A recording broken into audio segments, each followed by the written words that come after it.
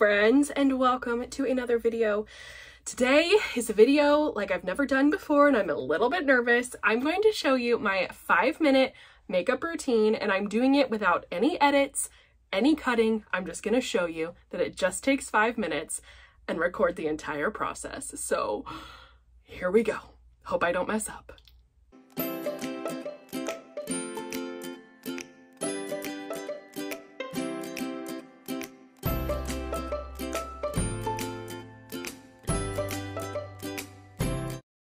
Okay, here we go. Five minutes on the clock. So first thing I do is I take my CeraVe facial lotion, moisturizer, and I'll just smack it on there.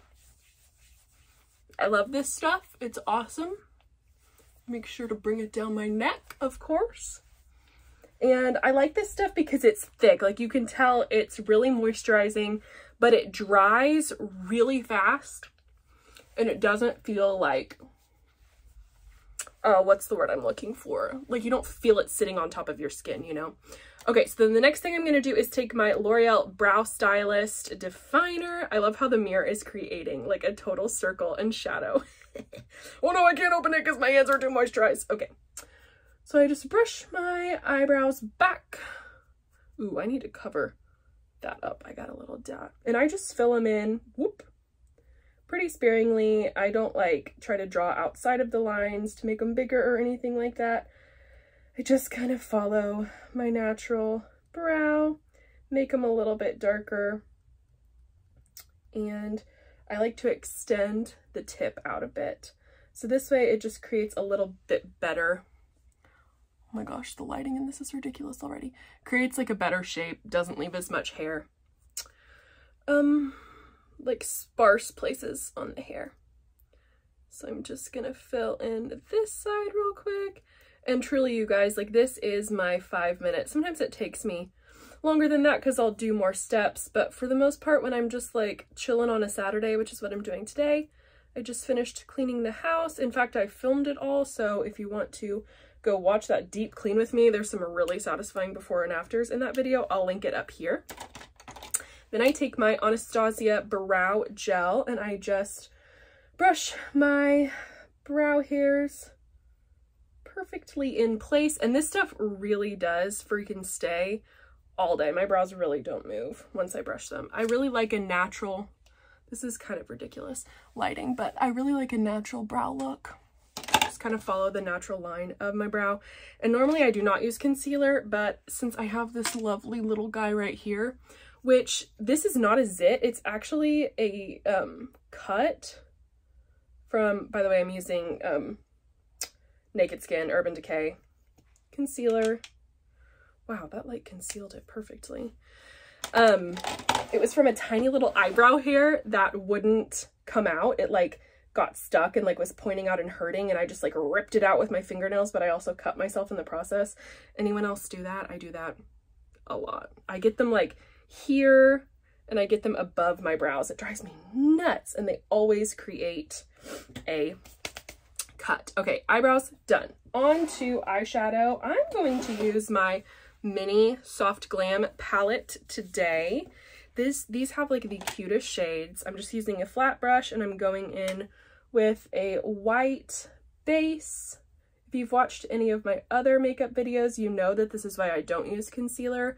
I just bring my white eyeshadow down under my eyes because I don't like the cakiness of concealer. I don't like how it creates lines and creases throughout the day and I just have never found a concealer that I truly like love. The Naked Skin one from Urban Decay is the best I've found for like cover up um, of like zits and stuff, but I just think it's much easier to get rid of those shadows with white eyeshadow instead.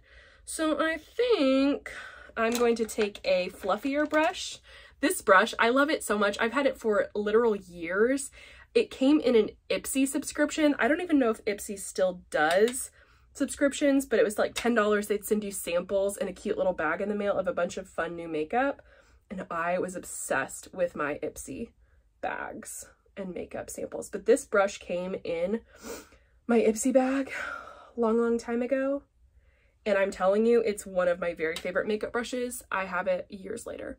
So I'm just taking this Dusty Rose color. It's like a mauvey, pinky, purpley color. I use this a lot in my crease because it's pretty subtle, but still gives you some nice color. Um, and it pretty much goes with anything. And then I'm going to take my, where is it? Single shadow of, I think this is called Vermeer. Mm, don't know. It's my very favorite shadow. It's just, ah! Oh my gosh. Don't worry, false alarm. It didn't crack, but it did fall out of the pan. Um, it's like this beautiful, just like shimmery white almost like silvery, but also goldy. Oh, I just love it. It's such a pretty neutral to put a little shimmer on your lids. I put it in my um, inner corner as well, just kind of tap it out. So pretty. And yeah, I have it in a single shadow. Um, and then I'll take that same fluffy brush and I'll just kind of blend those two together real quick. Then I'm just going to take my other Soft Glam palette and use this cute Delium Tools angled brush. Delium Tools are my other favorite brushes. I love them. I have, most of my other brushes are Delium. And I'm just taking a brown color and bringing it under my eye as bottom eyeshadow.